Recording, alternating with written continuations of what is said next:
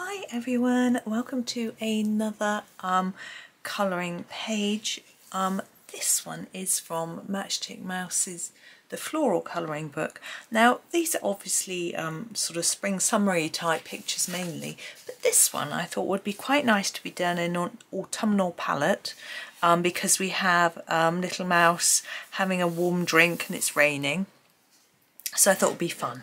So I am going to come in a little bit closer and show you basically how you can turn any page really into an autumnal page. It's just come out a tad. There we go. Now the first thing, um, yes, we're using our Arteza Expert pencils, just so you know, I'll tell you that first. And then we're going to start with the wall. Now, if you, um, oh it isn't on this one, um, Morgan O'Brien often does his walls in a orangey colour, hang on, a brownish colour like this as if it's inside. So I'm going to do a similar thing here and I think that also gives an autumnal feel to the page. So I'm going to start with a, hmm, yeah, we'll start with the cinnamon and we'll do all of the wall and then we'll then we'll come in and just put a few other tones in. Now this is quite orangey actually, isn't it? But that's okay. Because I'm thinking this is probably supposed to be like inside a tree stump or inside a tree trunk, something like that. So it's going to be brown and that's how um, Morgan O'Brien does them. Um, he's got a new Christmas book out. Um, I don't know if you've probably seen it, but it's a storybook rather than a colouring book. There is a Christmas Matchstick Mouse colouring book. I do have that one and I will be doing plenty from there um, in December. It's not quite December yet. But the um, the Christmas storybook is new for this year, and uh, I have seen all of the illustrations from that book. Um, I have a bit of secret squirrel news about that. I can't tell you yet. First of December, there's something very exciting coming to my channel. So I'll just leave it there. But um, the Christmas book um, most of the pictures are inside the sort of burrow, I guess it is. Nest? Hmm. And mice live in have nests, but this isn't really a nest, is it? It's got much bigger than that. Anyway, and all of them have this sort of brownish background. I'm trying to work out what that is. I'm going to colour that as a little shelf, I think, that the plate is on. It would sort of make sense, but let's make that the back. I think Hmm. I'm trying to work out what here. Is that a cushion and that's the floor, I think. So I'm going to colour that as floor. Sometimes you have to just work it out. I found this with every illustrator, it's anybody. Right, so that's our basic. Now it's darker here, and that's because I want to make the edge darker. And I've only just done it there. I shall come in with a darker colour. I'm going to use the permanent brown to actually do a darker edge on all of it like I did here it would all match in the end. I hope. but yeah, I'm going to start my Christmas colouring on the 1st of December. Um, I, I have had people say, "I'll oh, start on the 25th and do it for a month." Um, but I will do wintry stuff all through December. You know, Christmassy, for me, Christmas doesn't end till New Year. So there'll be all sorts of things I haven't quite planned. I have got some plans, but not everything. I tend to I tend to plan a little bit and then I sort of um, decide what I'm in the mood for as well. I'm hoping to get all my um, Christmas colouring done quite early actually so that I can um, have a little bit of a break from video making over Christmas. Now it's not because I dislike it in any way, I love it, but I will have the family home I'm going back to my cinnamon now. What I'm going to do is go back over this bit and just tidy it all up. Um, yeah, have the family home and I'm not sure how long for. I will have um, various social things to do as well, but also I find that even though I don't feel like I need a break from recording, if I have a little break, I sort of feel fresh when I come back.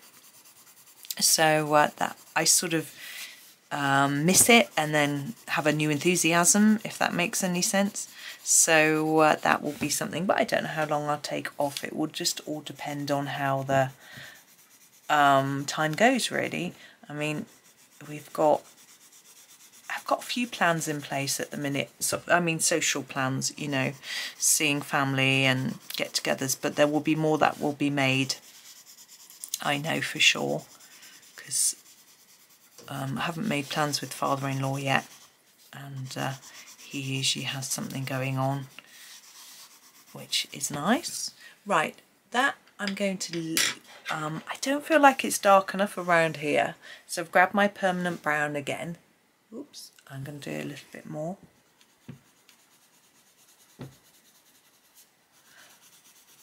Now I've done it like this because we've got our circle shape. I think it can be quite nice to have it almost framed with a slightly darker bit it doesn't necessarily make sense for the way it would be in this room I mean, it would be lighter around the window and things like that.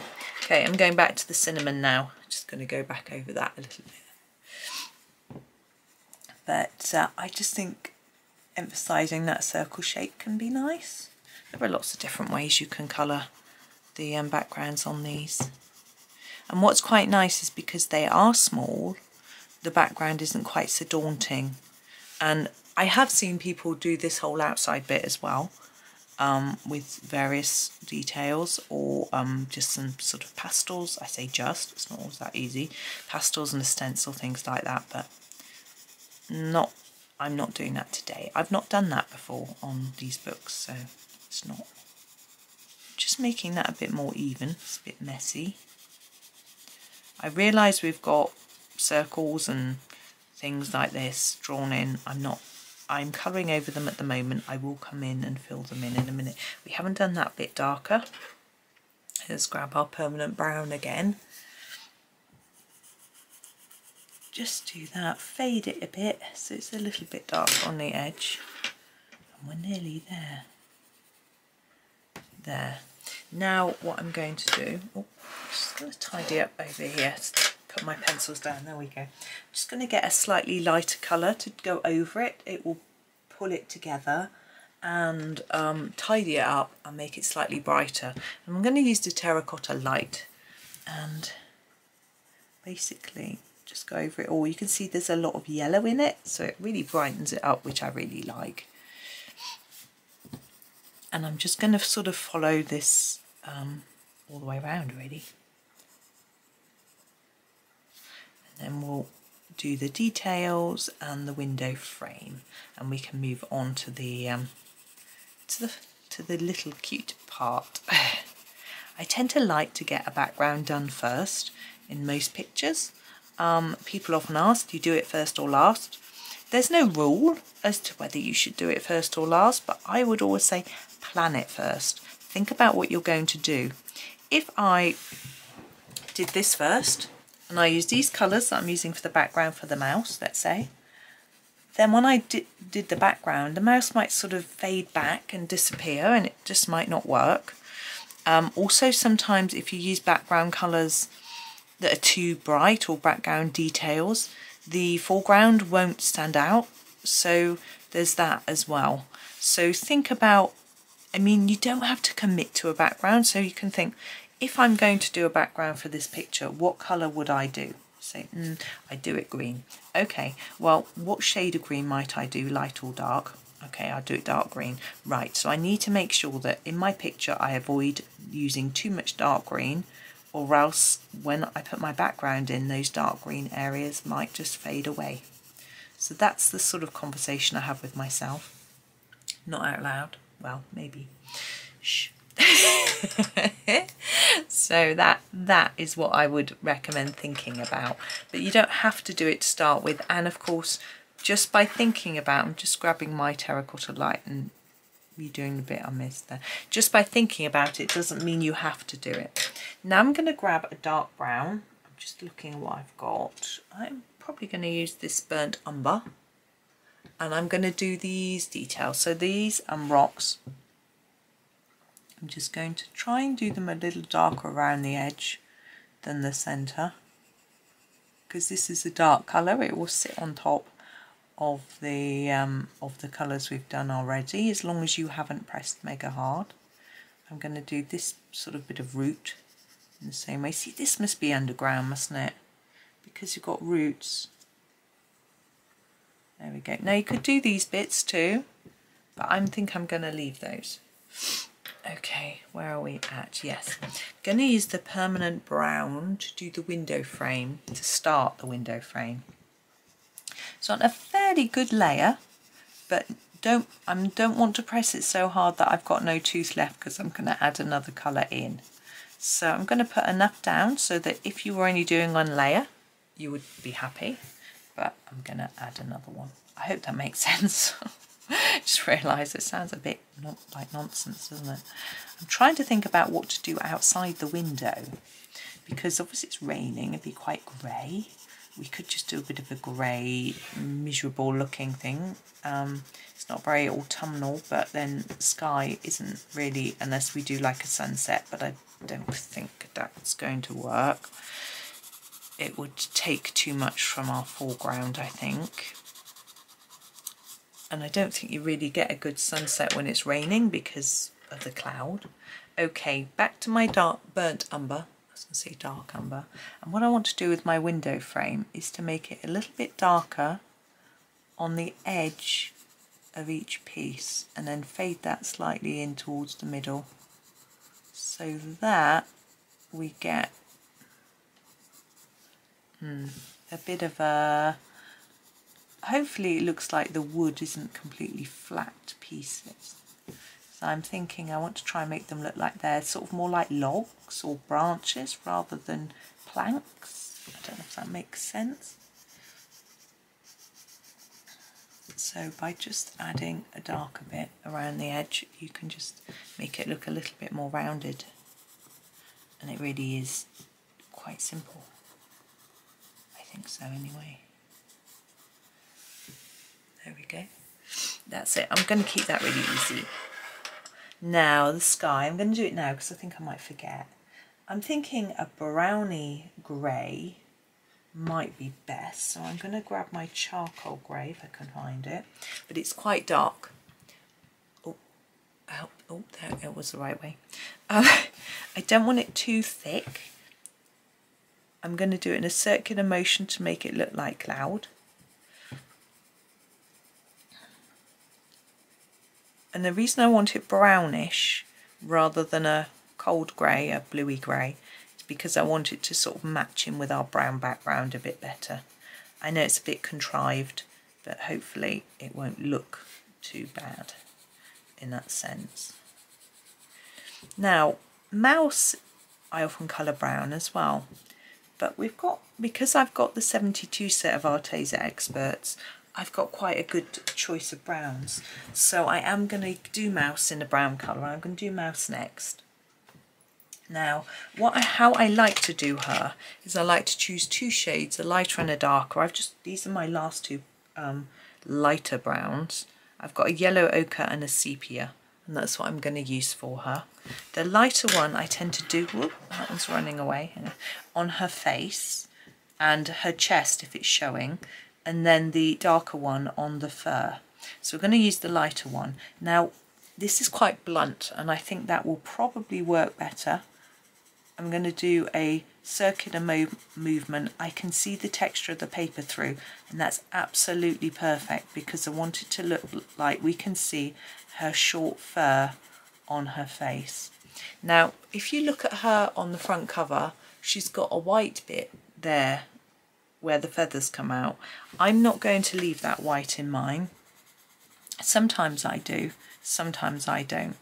Um, I have been known to colour a picture that to copy the cover to make the picture look the same. That's good fun. But um, I'm going to do it my own way today and not copy her. What I tend to do is make her look different in every picture. Sometimes she's grey, sometimes she's brown. And you're asking, why do I know she's a she? Well, if you look on Morgan O'Brien's website, there's a little bit about her, that she's a little witch, and it says that she's a she. So there we go. Uh, I'm thinking that bit might be light-ish there, but I'm now going to grab my sepia and do the furry bits. Now, you could try and do lines like this to make the fur look a bit more furry. I think that's all blanket. Hmm, or yeah, it's not always easy to tell what's quite going on. There we go. We'll do the top of the ear because I know that's definitely fur. There we go, and down here, and then this bit. Now there'd be a little bit of shadow underneath the blanket. You could do that a little bit darker. Think I'm going to keep it a bit simpler and not worry too much about that. We've already got a fairly thick black line drawn there anyway, which could just be shadow rather than the edge of the blanket, you know. So I'm happy with that. Now you could come on here with a black or a dark brown pen and draw in fur, but I actually think that's okay. I'm going to do a darker bit just down there, not too dark, just for a bit of shadow. I think that's better. Now we haven't, I'm pretty sure that's a cushion, not part of her. Um, sorry, I'm just going to blow my nose. I'm going to choose a colour for her hands and ears and nose. Um, let's have a look. I think that colour, I'm not sure if I want a light peach or a sort of coral or pink. I think we'll go for the we'll go for the peach because it's slightly more autumnal. In my head, autumnal is orange browns. So if we go for the light peach rather than the pink, I think it will work better with um, with the other colours I've got planned as well. So there is, I'm doing her nose like that. Now with a pastel shade, it's a lot harder to actually um, get differentiation in colour when you're using just this one pencil. I can build up the layers a little bit here and do a bit less towards the end of the ear, but it doesn't show up, I don't think, as much as with a much more intense pencil, but it's okay. I don't need massive um, difference in colour anyway, I just think it'd be a little bit darker in this bit. And then I'll come down and do her fingers like that. There we go. Now we haven't done this shelf here and I think I should do that um, in a similar colour to the window. So what did I use? Permanent brown first, so I'm going to do that. I don't, I think it's a cushion. It's a cushion, isn't it? No, okay, I've hardly touched it, so I'm just going to erase that bit. You can't really see it. There we go. Right, now, Mouse's face colour, this bit, I think looks quite similar to the colour I want to do the cookies. So I'm going to do that. So yellow ochre, oops, I'm going to do the cookies. But press a little bit harder so it doesn't look like it's exactly the same colour. You can see this bit under here, it's got some shadow drawn on it, so it's going to be even darker, like that. It's really simple. I might just do them a little dark on the edges, but really quite straightforward. Oatmeal cookie. Okay, now she's drinking out of what I think is an acorn shell, so I think that's going to be quite dark. So I'm going to come back to my burnt umber and do that. Now with the cup, I want to emphasize how rounded it is.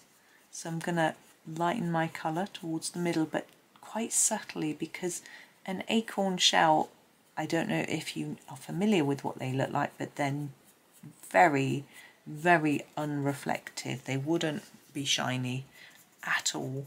They're very um, almost um, sort of furry in texture, not quite, but so they wouldn't reflect light in the way that something porcelain or um, metallic would do. But I'm just trying to make them a little darker on the edge by layering up a little bit more brown, just so that it looks more round. But I need to make sure that there's enough there so, as I say, it doesn't look like it's shining, but just that it's there's sort of shadow. Mm, a little bit more, I think.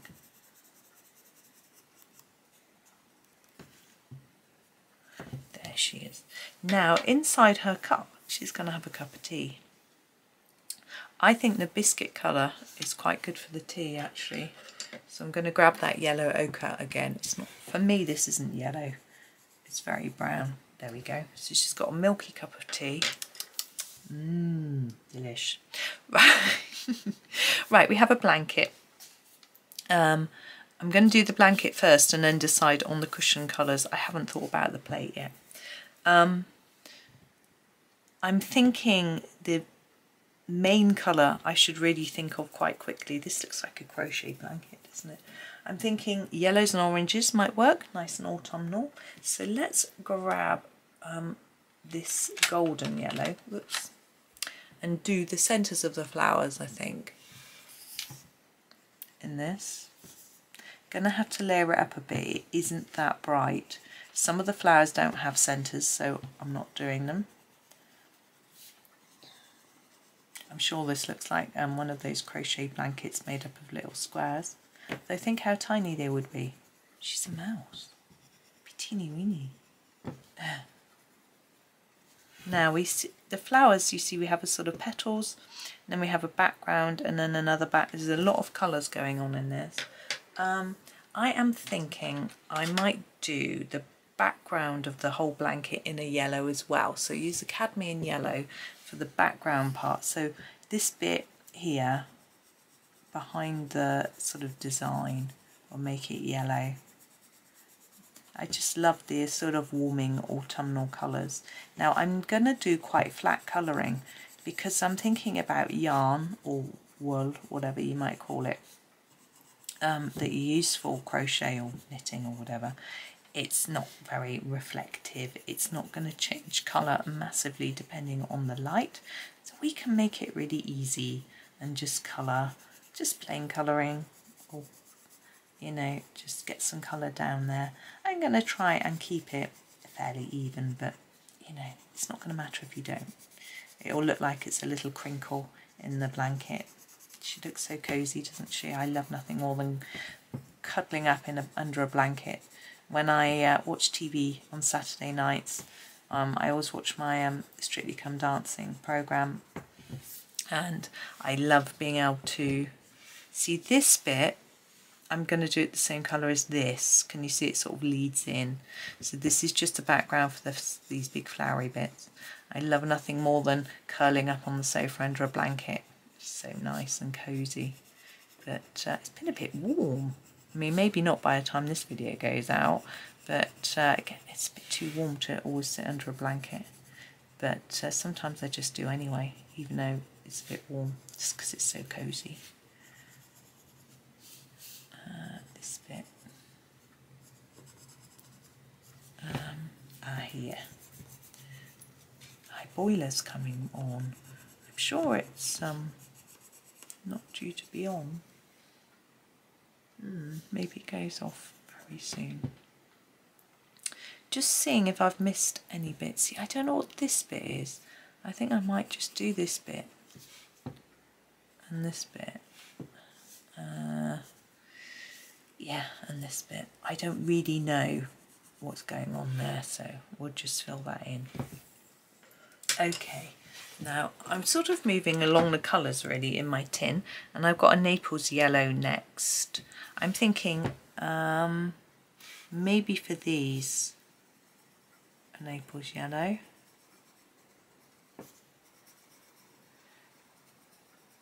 I think that looks quite nice. You can see the difference between the two yellows. That is good.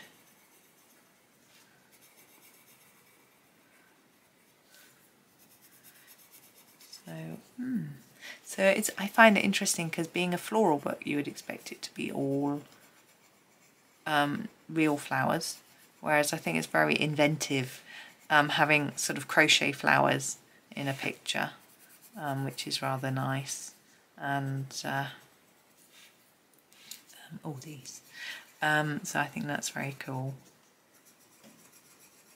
It's a very good idea. Okay, we need some orange. Now we have got here, I've got two oranges, yeah. We've got the um, Marigold, which is slightly lighter orange. Um, I'm trying to decide. I think I'll put the slightly lighter orange here. Trying to check what I'm doing because this one, this flower, has only got the one colour. Like that. Whereas this one's the rest have all got two. So hmm. That one's only got one as well. Maybe I'll make this the um, inside colour the first colour. So that one and then the outside one in my next colour. We've got a few different colours we can use still. I'm sure if you've got the 120 set of Arteza Expert, you'll have a little bit more choice. I would imagine there would be more um, oranges, but um, I think this will be plenty. 72 is quite a good number of pencils. You can always mix and match sets. People get a little bit frightened and they think they have to use just one set of pencils. You really don't. I, I used to always mix Polly's and Ergosoft when they were the only two sets of pencils I had and they work beautifully together.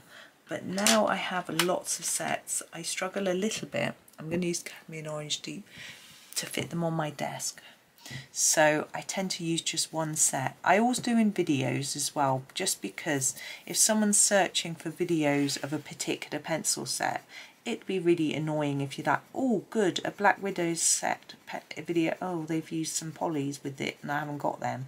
Do you know what I mean? So I try and keep it a little bit um, keep them separated.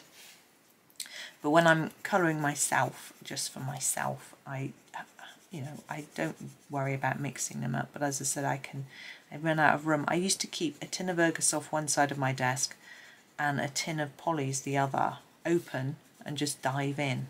But now I've got diff lots of different sets. I uh, I can't keep them out all the time. It's also a lot tidier to put them away. Plus, leaving Ergosoft open is a really bad idea because it get all sticky and dusty and horrible. I've just had to go through my Ergosoft tin, getting rid of all the sticky ones. My husband's got loads of spares, so when I say loads, I mean he bought packs of 12 of certain colours. So when he had a pack of 12 and I had a short sticky one, I was like, Ugh. I'm just going to grab my um, marigold again just to do the bottom of this one. I must a bit slack and didn't do that bit. So yeah, I had a quick, I was, I'm lucky that we've got some spares. Um, he's very naughty. If he likes something, he will buy a lot of it. So when his journal is nearly running out, he won't buy one spare, he'll buy three. Oh, because I like them and they might sell out. It's like, yeah, but, but, but, but, but. now I've got a peach colour here and I think it's a bit too, um, a bit too pink. I'm just going to, yeah, it is. So I'm not going to use that. Um, I think I may have run out of... Oh, I've got a cadmium orange light. That looks really pink. Hmm, it's a bit wishy-washy. I'm not going to use that. Right, we're going to go back and use something we've used already because I've run out of colours, which is absolutely fine. Um, I'm thinking maybe one of the warm browns might work. We don't want the ones that we coloured mouse with. The cinnamon was the main background colour, but maybe that, maybe the terracotta light might work. I think we'll try that. Okay.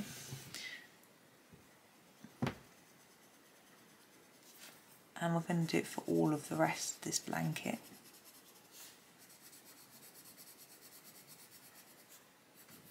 And it's the colour I used to brighten this background so because that colour when it was used there it was mixed in with so many other colours. It looks a bit different so that's good.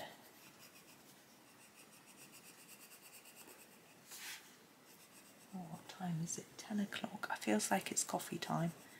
Um, hmm, I think it is. Tea or coffee? I'm not sure which. I actually had some workmen in yesterday. That is the first time this month and it is the uh, 17th. So I haven't had anyone in for about a month to be honest. So it's getting a bit frustrating.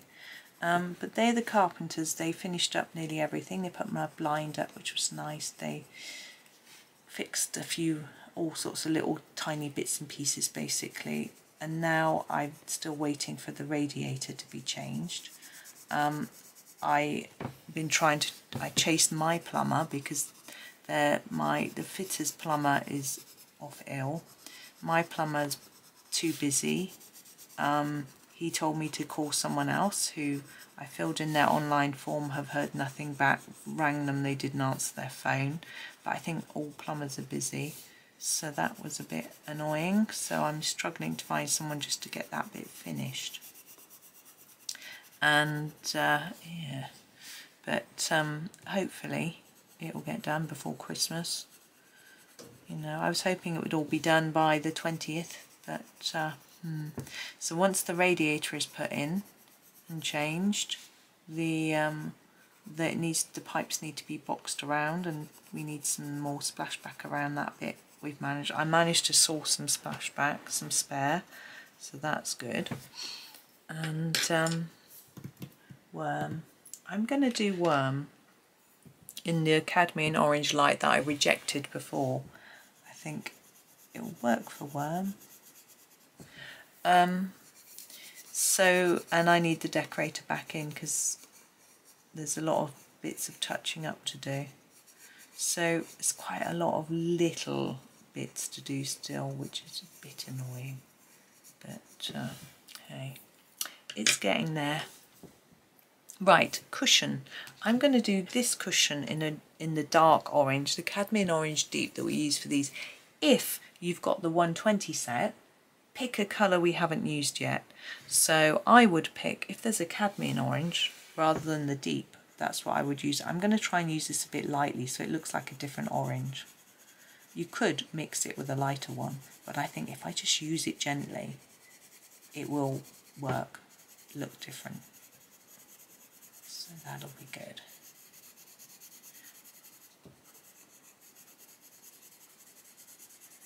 Like that.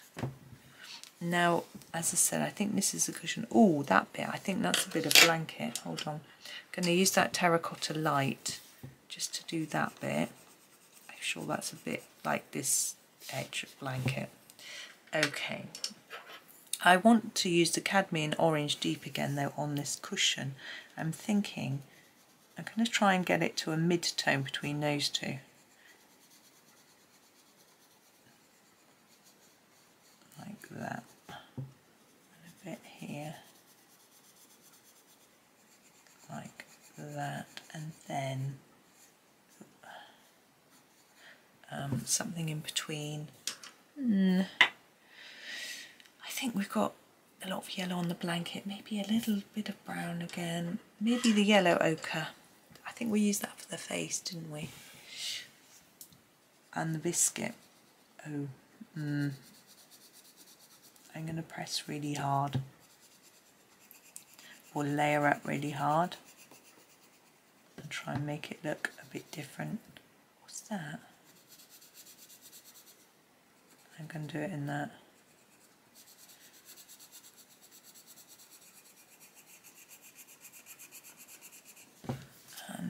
All the way to the bottom. There we go. Now all we've got left is our plate and it's not going to... Now my plates are white. I like white plates, but that is not going to work with this um, picture. So, hmm, what should we do? What's that colour? Light peach. I'm going to try the light peach. We used it for the ears, didn't we? But do it really lightly so it just makes it look slightly off-white and see if that's going to work. I'm going to try and make it a bit lighter in the middle because the plate would be shiny. I don't want to leave any completely white bits, it's going to look a bit odd. There we go. I think we're done.